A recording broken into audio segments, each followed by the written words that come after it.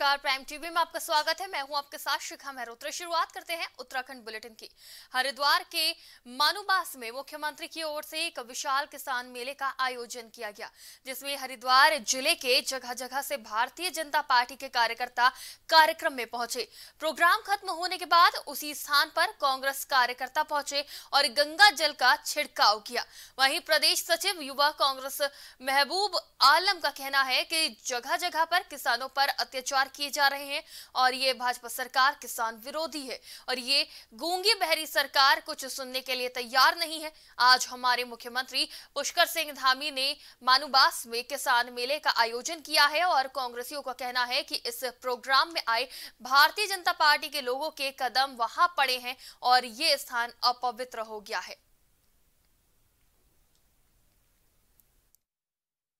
कांग्रेस कांग्रेस के साथी युवक साथी और बुज़ुर्ग भी लोग हैं हमने। हम लोगों ने ये निर्णय किया है कि जो भारतीय जनता पार्टी ने यहाँ पे पाप किया है घाट क्षेत्र में आके किसानों के नाम पे आके हमको हमको गुमराह करने की कोशिश करी है। हम सब उन्होंने ये निर्णय करा हमारे अध्यक्ष जी के नेतृत्व में भाई साहब के नेतृत्व में कि हम उस स्थान को पवित्र करेंगे जो भारतीय जनता पार्टी के लोगों के कदम वहाँ पड़े हैं और वो स्थान अपवित्र हो गया है। उसको पवित्र करने के लिए हम लोग गंगा जो है माँ गंगा का जो आशीर्वाद लेके आए हैं उनका जल लेके आए हैं और वहाँ पे छिड़काव करके उसका वहाँ पे हम राज्य स्थापना दिवस के अवसर पर हरिद्वार की विधानसभा ज्वालापुर के गाँव मानूबांस में एक दिवसीय भव्य रबी किसान महोत्सव का आयोजन हुआ। इस महोत्सव में मुख्य अतिथि मुख्यमंत्री पुष्कर सिंह धामी के साथ सुबोध उनियाल, कृषि मंत्री स्वामी यतेश्वरानंद कैबिनेट मंत्री, स्थानीय विधायक सहित कई भाजपा विधायक और भाजपा के दिग्गज नेता इस कार्यक्रम में पहुँचे। पुलिस प्रशासन और जिला प्रशासन के अधिकारियों के साथ कार्यक्रम में सुरक्षा व्यवस्थाओं को लेकर भारी पुलिस बल तैनात रही। साथ ही किसान मेले में भाजपा नेताओं ने आगामी विधानसभा चुनाव के टिकट आवंटन को देखते हुए अपने अपने समर्थकों के साथ शक्ति प्रदर्शन किया।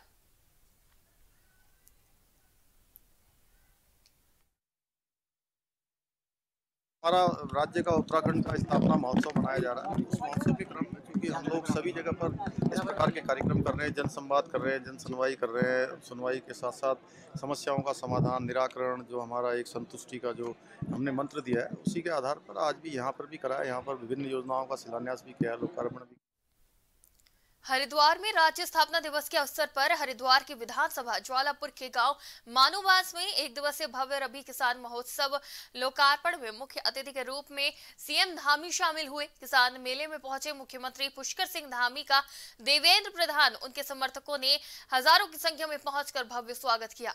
इसी कार्यक्रम में सीएम पुष्कर सिंह धामी ने करोड़ों की योजनाओं का लोकार्पण और शिलान्यास किया। वही विधानसभा ज्वालापुर सीट पर टिकट की दावेदारी कर रहे हैं देवेंद्र प्रधान ने कार्यकर्ताओं में ऐसे जोश भर दिया कि चारों ओर जय भाजपा, तय भाजपा के नारे लगाए।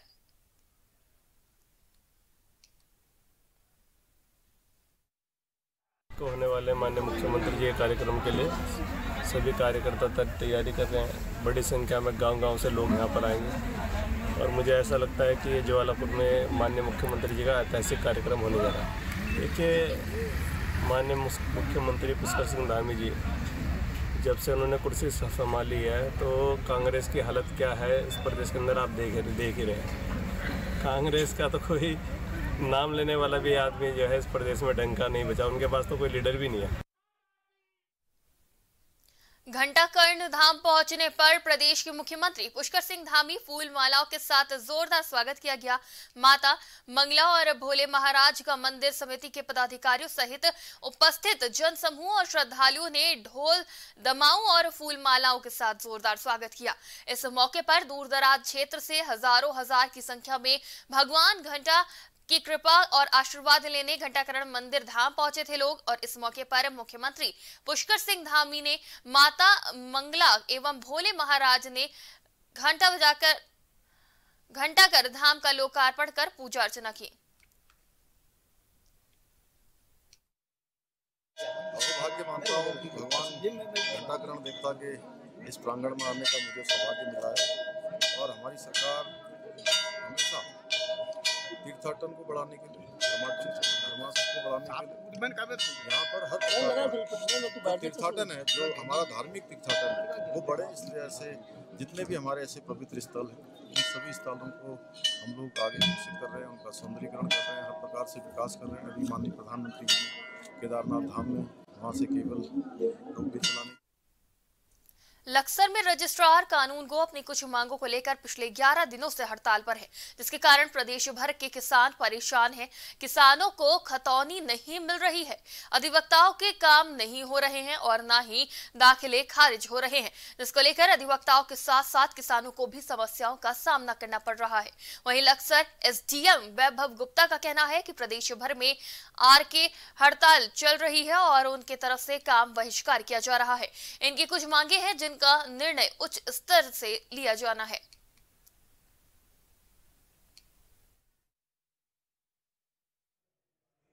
पूरे प्रदेश स्तर पर ही ये आर के जो है सभी की हड़ताल चल रही है। इनका कार्य बहिष्कार किया हुआ है इनके द्वारा। तो इनकी कुछ मांगे हैं जिसका जो निर्णय है वो उच्च स्तर से लिया जाना है। तो इसमें हम वैकल्पिक व्यवस्था बन, बनाई जा रही है लेकिन इसमें समस्या ये है क्योंकि जो खतौनी है वो डिजिटली साइन होती है तो उसमें आरके के सिग्नेचर से ही वो निकलती है।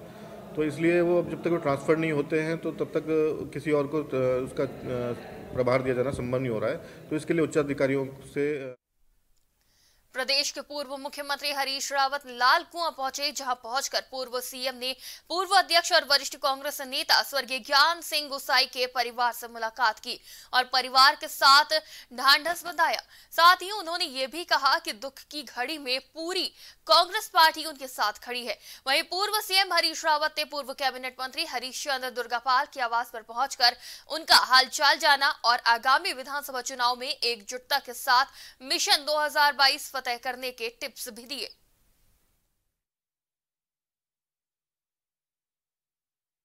स्वस्थ करे और बहुत सक्रिय आदमी बहुत सक्रिय जीवन जीने वाले व्यक्ति हैं और वो जल्दी अपनी बीमारी से उबर जाएँगे और स्वस्थ होकर के फिर से सामाजिक कार्यों में और अपने घर गृहस्थी के कामों में सक्रिय हो जाएँगे। का बिंदु खत्ता को बसाने में बहुत बड़ा योगदान है। उत्तराखंड में आगामी 2022 विधानसभा चुनाव की तैयारियों को लेकर आज विकास नगर के रॉयल गार्डन में भाजपा का प्रबुद्ध जन सम्मेलन हुआ। इस सम्मेलन में चुनाव प्रभारी एवं केंद्रीय कैबिनेट मंत्री प्रहलाद जोशी पहुँचे। इस प्रबुद्ध जन सम्मेलन में विकास नगर विधायक मुन्ना सिंह चौहान और सहसपुर विधायक सहदेव सिंह पुंडीर सहित कई लोग शामिल हुए। आज के प्रबुद्ध जन सम्मेलन में कार्यकर्ताओं को संबोधित करते हुए उत्तराखंड चुनाव प्रभारी प्रहलाद जोशी ने कहा कि उत्तराखंड उत्तराखंड में जितने भी महत्वाकांक्षी रेल परियोजना और वेदर रोड परियोजना पर जो कार्य चल रहे हैं, वो सब डबल इंजन की सरकार, मोदी सरकार की देन है। वन रैंक, वन पोजीशन योजना भी मोदी जी की ही देन है। के नेतृत्व में हमारा जो परफॉर्मेंस किया है, वो लोगों को याद दिलाने के लिए हम आए हैं। और मुझे पूरा विश्वास है, भारतीय जनता पार्टी इधर उत्तराखंड में फिर से जीत के आएगा और डबल इंजन। लक्सर में अवैध खनन और अवैध खनन परिवहन में लक्सर उप जिलाधिकारी वैभव गुप्ता ने एक्शन लिया है। एसडीएम ने अवैध खनन की नौ ट्रैक्टर ट्रॉली को पकड़कर सीज किया। उप जिलाधिकारी के द्वारा अवैध खनन और अवैध खनन परिवहन के विरुद्ध लगातार की जा रही कार्रवाई हुई है और साथ ही खनन माफियाओं में इसके बाद हड़कंप मच गया। वहीं लक्सर उप जिलाधिकारी वैभव गुप्ता का कहना है कि क्षेत्र में अवैध खनन पर लगाम लगाने के लिए एक टीम गठित की गई है, जो समय समय पर लगातार कार्रवाई कर रही है।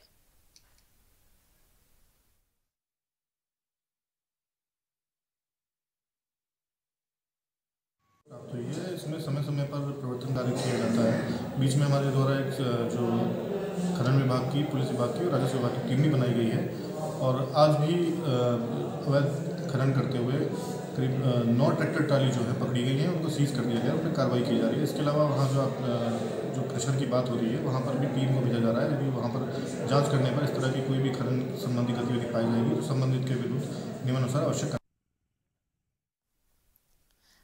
सोमवार से नगर निगम के बाहर हाईवे के किनारे लगी सब्ज़ी मंडी को फिर से हटाने के दौरान जमकर हंगामा हो गया।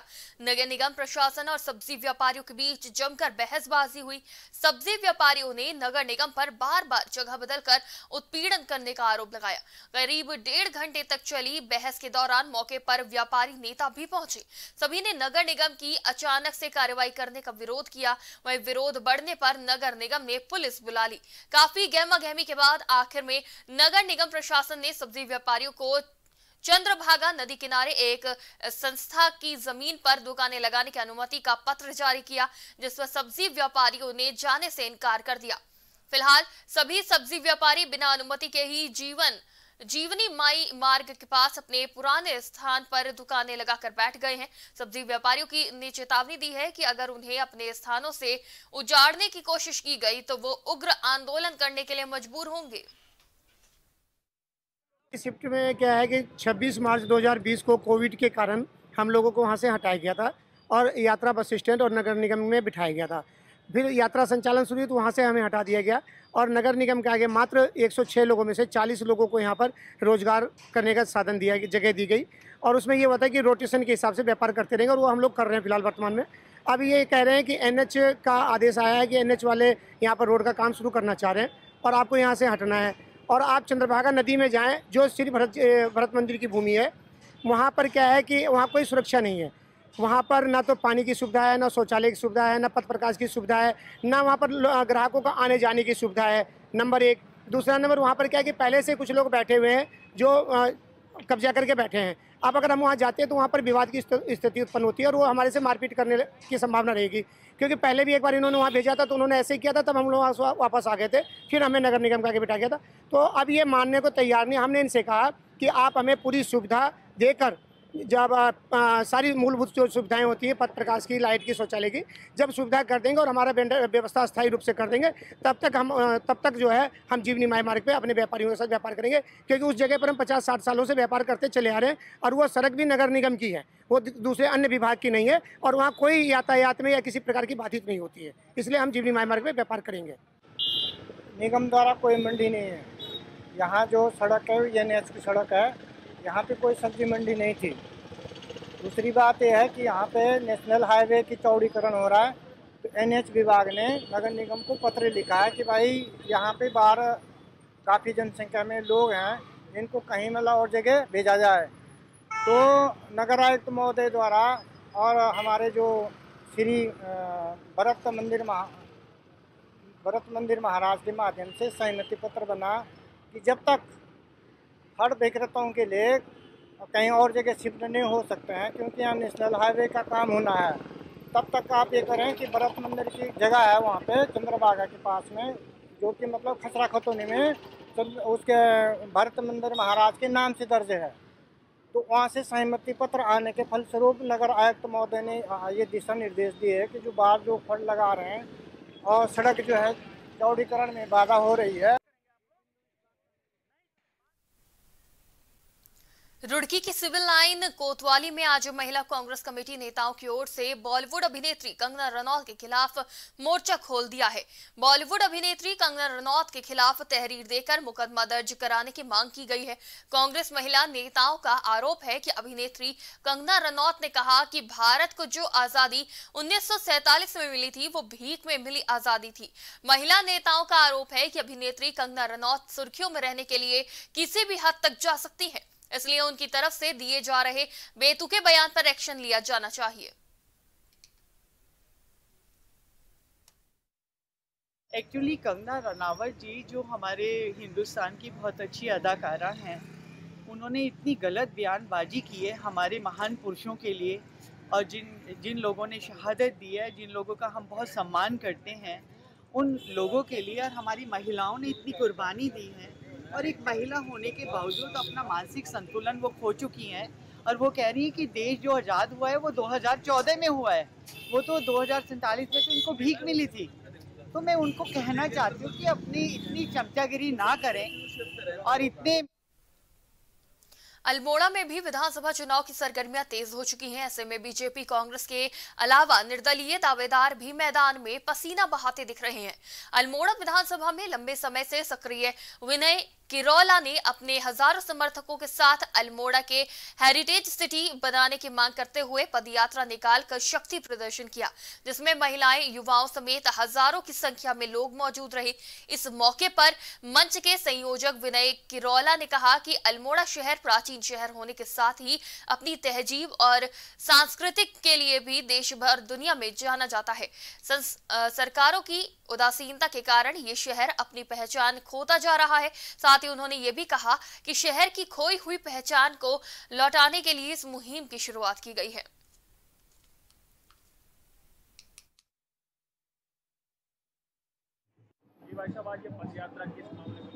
देखिए, अब आज से लगभग एक डेढ़ साल पहले उत्तराखंड सरकार ने पौड़ी को हेरिटेज सिटी बनाने की घोषणा करी। उसके तत्काल बाद हमारे मंच ने प्रतिक्रिया देते हुए अल्मोड़ा को हेरिटेज सिटी बनाने की मांग करी, क्योंकि कुमाऊं की सांस्कृतिक राजधानी अल्मोड़ा है और अल्मोड़ा का विकास तभी संभव है, अल्मोड़ा का जो खोया हुआ स्वाभिमान है, वो तभी ज़िंदा हो सकता है, पुनः जीवित हो सकता है जब अल्मोड़ा को हेरिटेज सिटी बनाया जाए।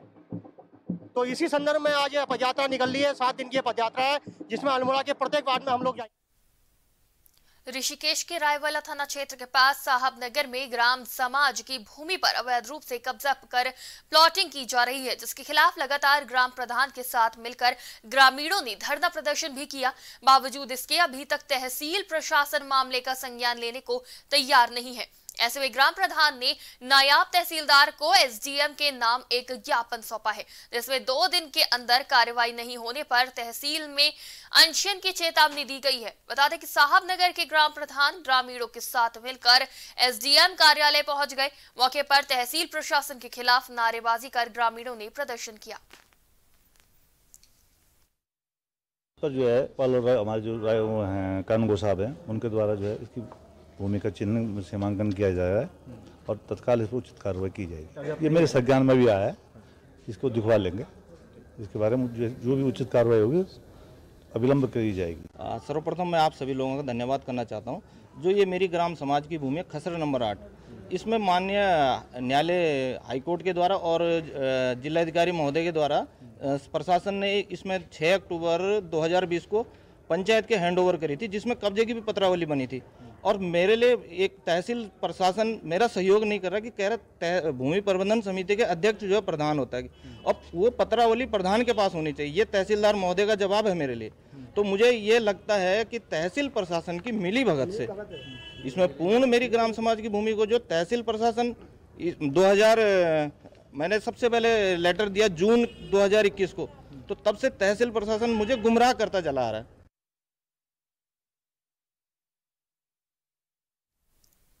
उत्तराखंड में आगामी विधानसभा चुनाव जीतने के लिए कांग्रेस एकजुट होने का दावा कर रही है। ये दावे हकीकत में कितने धरातल पर उतरते हैं, ये तो भविष्य ही बता पाएगा। लेकिन दावों पर यदि यकीन किया जाए तो उत्तराखंड में सत्ता की बिसात पर मोहरे चलने वाले बादशाहों के तख्त पलट हो सकते हैं। दरअसल ऋषिकेश पहुँचे हिमाचल के पूर्व प्रदेश अध्यक्ष और गढ़वाल कांग्रेस प्रभारी कुलदीप कुमार ने प्रेस वार्ता की। इस दौरान उन्होंने दावा किया कि विधानसभा चुनाव जीतने के लिए कांग्रेस साम दाम दंड भेद सभी अपनाने के लिए तैयार है।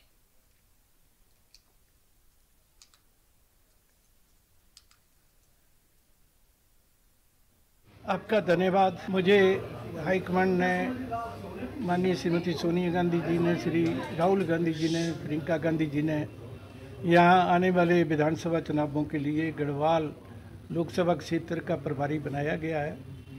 और मेरी जो उनकी उम्मीदें हैं, उनकी उम्मीदें आप जानते ही हैं, यही है कि उत्तराखंड में कांग्रेस की सरकार सत्ता में आवे, आए और उन उम्मीदों पर हम पूरा उतरना है, पूरा उतरने की कोशिश करेंगे।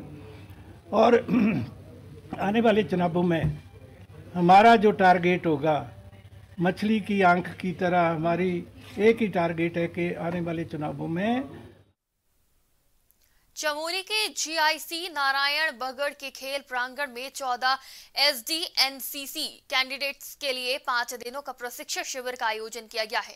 जिला मुख्यालय के बतौर सेना के प्रशिक्षण हवलदार वीरेंद्र सिंह, हवलदार दिनेश सिंह, हवलदार आनंद सिंह के दिशा निर्देश में पाँच दिनों तक एनसीसी कैंडिडेट्स की सेना से संबंधित प्रशिक्षण दिए जाएँगे, जिससे एनसीसी कैंडिडेट्स को प्रमुखता से drill field craft weapon training और एनसीसी के इतिहास से संबंधित प्रशिक्षण भी शिविर के दौरान दिए जाएँगे। प्रशिक्षण के अंतिम दिवस पर एनसीसी कैंडिडेट्स ने देशभक्ति, पर्यावरण पर शानदार नाटक करेंगे और गढ़वाली लोक संस्कृति पर आधारित लोक गीतों व नृत्य की लाजवाब प्रस्तुतियाँ भी देकर खूब तालियाँ बटोरी। इसके लिए सांस्कृतिक कार्यक्रमों में भाग लेने वाले प्रतिभागियों को पुरस्कृत भी किया गया। सबसे पहले मैं सभी को जय हिंद कहूँगी और मैं S W S W senior cadet cadet Monika S W senior cadet Monika, और मैं यही कहूँगी कि सब, सभी जो आने वाली गर्ल्स हैं, उनको भी एनसीसी में एनसीसी में आना चाहिए, जिसमें आगे बढ़ने का मौका मिलता है। हमने एनसीसी के पाँच दिवसीय प्रशिक्षण में F C B C field craft battle craft और कल्चरल प्रोग्राम ड्रिल कंपटीशन बहुत सारे कंपटीशन यहाँ पे होते हैं। डिबेट कंपटीशन भी हमारे एनसीसी में होता है, जिसमें कि लड़कियों को आगे बढ़ने का मौका मिलता है। प्रकाश चंद सतीश जिन्होंने हमारी बहुत बहुत सहायता की, और हमने ड्रिल कॉम्पिटिशन में भी भाग लिया, हमको वेपन ट्रेनिंग और बहुत बहुत चीज़ आर्मी की शेड्यूल में रहने का आर्मी के चलना, फिरना और सब चीज़ हमको एक्यूरेट हमारे एन ने हमको सिखाया। धन्यवाद। One U K battalion Gopeshwar द्वारा, चौदह S D platoon G C Narayangarh में, पाँच दिवसीय कैंप का आयोजन किया गया। इस कैंप के दौरान हमारे एनसीसी कैडेटों ने ड्रिल, वेपन, साथ ही लेक्चरर्स आदि जो है, प्रशिक्षण में प्रतिभा किया है और हमारे गोपेश्वर से आए हुए हमारे पीआई स्टाफ श्री धीरेन्द्र सिंह जी और श्री आनंद सिंह जी ने कैडेट्स को विभिन्न प्रकार की गतिविधियों में प्रतिभाग कैसे किया जाता है? बी सर्टिफिकेट और ए सर्टिफिकेट के लिए जो आवश्यक सिलेबस है, उसका जो है पूर्णतः कैडेट को जो है जानकारी दी गई। One U K battalion NCC Gopeshwar से 14 एसडी प्लाटून जीआईसी नारायणबगल में एनसीसी कैडेट्स को पाँच दिन के परीक्षण के लिए आए हुए हैं। यहाँ पर हमने पाँच दिन में कैडेट्स को एकता और अनुशासन, ड्रिल, वेपन ट्रेनिंग, एफसीबीसी और मोटिवेशन, लीडरशिप बाजपुर में सख्त कानून के बाद भी दहेज लोभियों के हौसले बुलंद होते नज़र आ रहे हैं, जिससे नवविवाहितों की मौत का आंकड़ा बढ़ता जा रहा है। आए दिन दहेज की खातिर युवतियों को मौत के गले लगाना पड़ रहा है और ऐसे ही एक मामला बाजपुर में प्रकाश में आया है, जहाँ दहेज लोभियों के अत्याचार का शिकार होना पड़ा। बाजपुर ने कोतवाली में तहर देकर बताया कि उनकी बहन का विवाह थोड़ी ही समय पहले हुआ था और बाद में ससुरालियों ने दहेज के लालच में विवाहिता को काफ़ी ज़्यादा परेशान किया। वहीं विवाहिता की मौत पर परिजन मौके पर पहुँचे और जमकर हंगामा किया। सूचना मिलने पर सीओ बंदना वर्मा, कोतवाली रमेश तनवर और एसएसआई राहुल राठी ने फोर्स के साथ मौके पर पहुँच गए और कब शव को पोस्टमार्टम के लिए भेज दिया है कब से मिलेकर वही कोतवाली पुलिस ने तहरीर के आधार पर पति सहित ससुर और देवर को ऊपर मुकदमा दर्ज कर लिया है। विभिन्न धाराओं में केस दर्ज कर लिया गया है। रात की घटना है। ये चीनी मिल में रहने वाली एक ये नव विवाहिता है। ये 20 वर्षीय युवती है और इसकी जहर खाने से कोई विषैला पदार्थ उसने खा लिया, उससे इसकी मृत्यु हो गई। और उसके बाद शव का पंचायतनामा भरकर उसको पोस्टमार्टम कराया गया है। इसके परिजनों के द्वारा तहरीर दे दी गई है और सुसंगत धाराओं में हमने अभियोग पंजीकृत कर दिया है। विवेचना मेरे द्वारा की जा रही है और जो भी इसमें दोषी होंगे उनके खिलाफ उचित कार्रवाई की जाएगी। तो अभी अभी इसकी केवल तहरीर प्राप्त हुई है। अब हम अपनी कार्रवाई शुरू कर रहे हैं। उत्तराखंड की खबरों में फ़िलहाल इतना ही। तमाम खबरों के लिए बने रहिए प्राइम टीवी के साथ।